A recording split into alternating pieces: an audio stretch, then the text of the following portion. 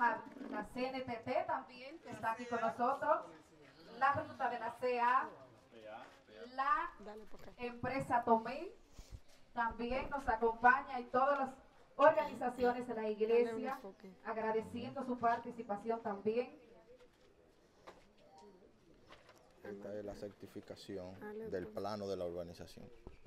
Esta es, la, esta es la certificación de los regidores. Sí. Dale aquí. Esta es. Y enfócalo a él. Esta es la certificación de. Esta es la certificación de los regidores. Aquí se la estoy mostrando. Puede ir acercándose. No, que sí. Y por aquí tenemos el plano de la urbanización. ¿No verdad que sí? Que si en breve momento puedo describirles algunas cosas. Eh, esta certificación, cuando se fundó esta urbanización, eh, todavía, todavía Puñay no era municipio. Por ende, Santiago era que debía de emitir la certificación de planeamiento urbano.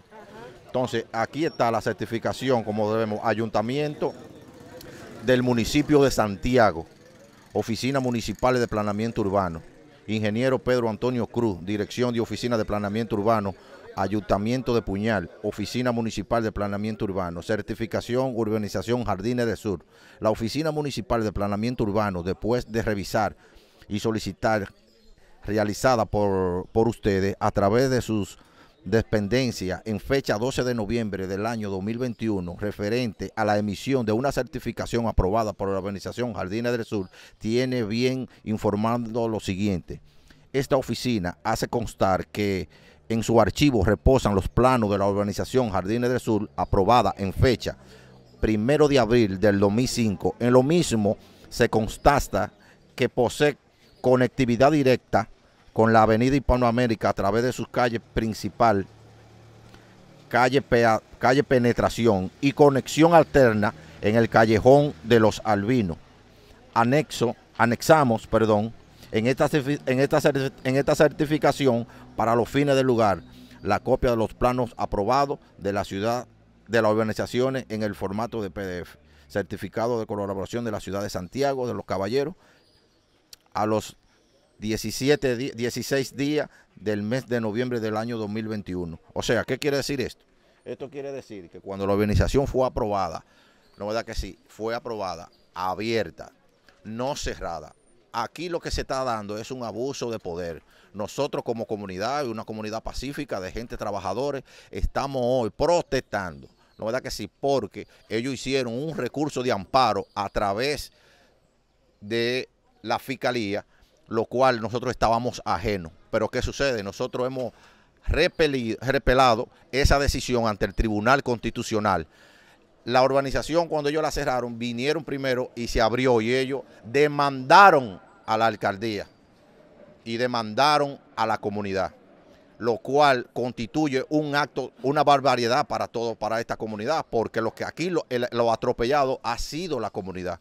Pero ¿qué sucede? Nosotros, hasta que no tengamos el fallo del Tribunal Constitucional, ellos vinieron y cerraron de nuevo. Nosotros estamos pidiendo a las autoridades competentes que por favor tengan en el asunto porque esta comunidad es una comunidad pacífica, una comunidad trabajadora, pero de lo contrario nosotros nos vamos a mantener firmes trabajando porque esto es un abuso, un atropello constitucional, ya ustedes están viendo, violando el artículo de la ley 63-17 que habla sobre el libre tránsito, no tenemos. Nosotros estamos a menos de, de 200 metros donde se va a construir una academia de bomberos, lo cual puede darle asistencia de un momento a esa misma comunidad, pero ellos están totalmente errados porque ellos quieren eh, tratar de humillarnos, separar clases y también ellos están tratando de, de tratar de, de que uno esté eh, puesto a su merced.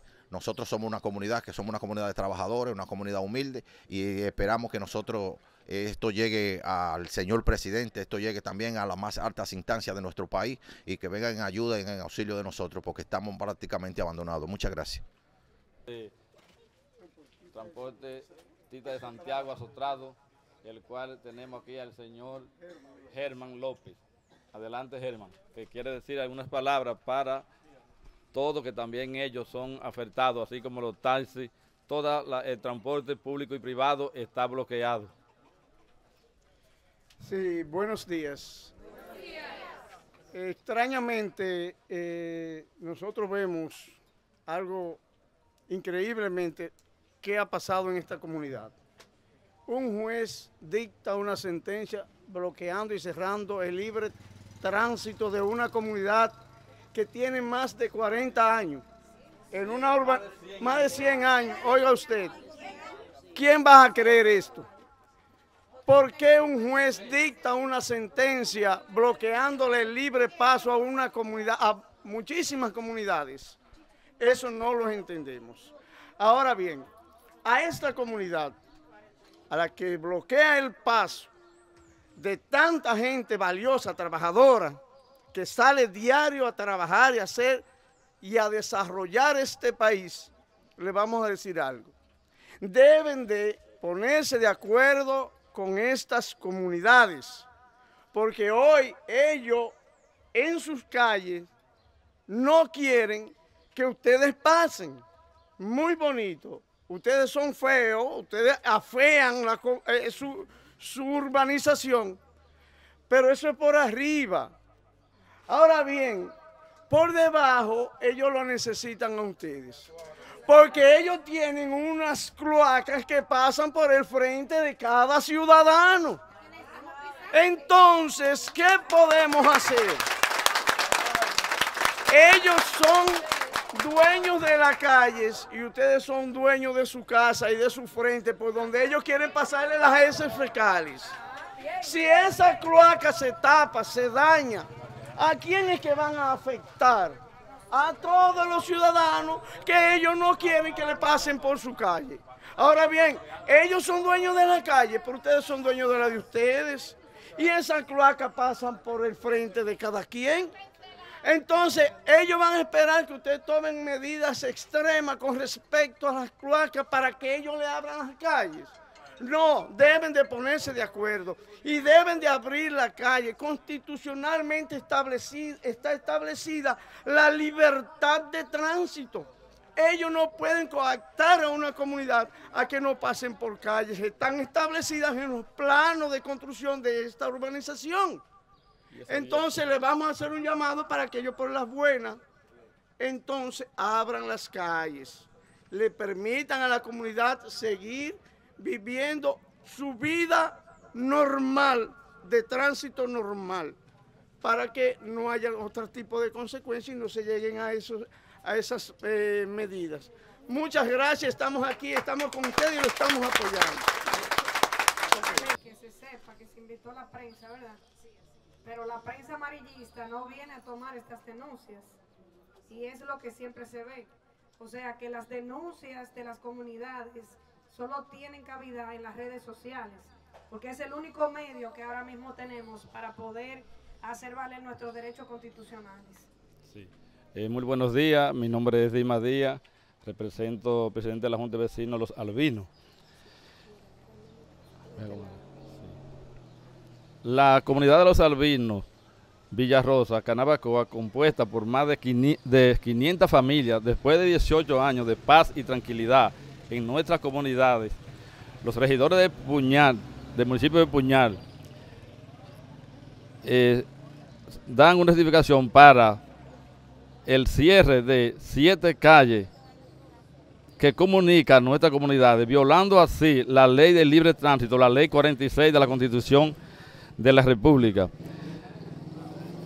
según las reglas de construcción, donde hay comunidad, no puede existir urbanización cerrada, debido a que todas las aguas residuales van a dicha comunidad. Un crimen de esta naturaleza no puede ser impune. Hacemos de público conocimiento que tenemos un presidente que vela porque las cosas se realicen bien, pero tenemos funcionarios corruptos dentro de nuestra sociedad le exhortamos al presidente, vicepresidenta, primera dama, que no queremos más pésame, solo queremos solución a los problemas. Muchas gracias. Gracias, gracias. El motivo de esta misiva es para notificarles que nuestra Junta de Vecinos y todas las organizaciones populares ni pueden ni quieren quedarse callados ante este atropello. Los maltratos que hemos recibido de los poderes políticos y económicos en contra de nuestras comunidades, hemos tenido que recurrir a la prensa, a ustedes, para poder hacer valer nuestros derechos fundamentales y pueda llegar a nuestro excelentísimo presidente Luis Abinader Corona, como en reiteradas ocasiones ha vociferado que él está con la comunidad y con las juntas de vecinos. Le agradecemos el habernos eh, agregado y tomado en consideración para la agenda a seguir. Queremos hacer de público conocimiento que las prohibiciones del libre tránsito y de derecho que hoy violan un grupito de personas llamadas juntas de vecinos, arbitrarias a nuestras comunidades, violentando los artículos 68 y 69 de nuestra Constitución Dominicana y el artículo 46 del libre tránsito que establece que el tránsito,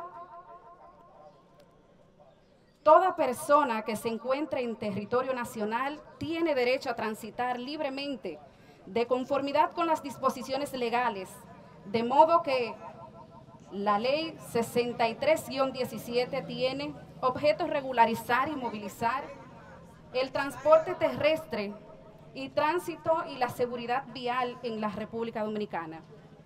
Cualquiera que designe la institución representante a planificar y ejecutar dichas actividades a Intran como órgano regulador. Les solicitamos el descenso de las paredes ubicadas en las calles y los atajos que prohíben el libre tránsito y nos cohibe de nuestros derechos fundamentales como ciudadanos.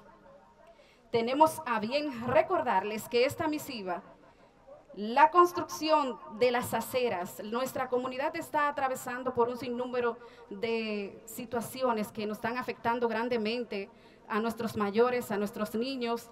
Y la verdad, como ustedes pueden observar, nosotros no contamos con aceras, ni contenes, ni pluviales, ni tampoco también tenemos lo que es el asfalto el sistema cloacal es algo que nos está afectando y por la cual hacemos llamado a nuestras autoridades a que intervengan y vean esta situación y nos pongan en agenda, porque ciertamente es como mis compañeros han expresado, ya estamos cansados de seguir con estos atropellos, cansados de que solamente prometen y prometen y nada más. Entonces, en espera de la pronta solución como funcionarios públicos que hoy velan por el bien común de todos los ciudadanos dominicanos.